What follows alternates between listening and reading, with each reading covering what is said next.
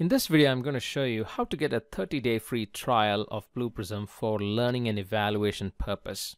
First, go to digitalexchange.blueprism.com. I'm using Internet Explorer here because I tried using Google Chrome to fill in the form, which I'll show you in a minute, and it didn't work for some reason. I click submit and it keeps going up to the same field. So I tried Internet Explorer and it worked. All right, so click on this tiny little man which you see here to log in. And if you haven't signed up for an account, go ahead and sign up for an account using the sign up here link. Or if you have already signed up, go ahead and enter your username and password. I have already signed up, so I'm entering my email address and password and log in. And now you can see this option called Blue Prism Free On-Prem Trial. So that's the one you need.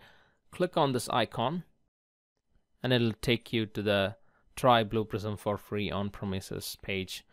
Click on Free Trial and you will get this form. This is the form which didn't work on Google Chrome, uh, but it works on Internet Explorer. So go ahead and fill in your details. And you don't have to use your corporate email address. You can use your personal email address. It works perfectly fine. And click submit once you have filled in. Okay, so you're almost done. You just have to wait for the email to come.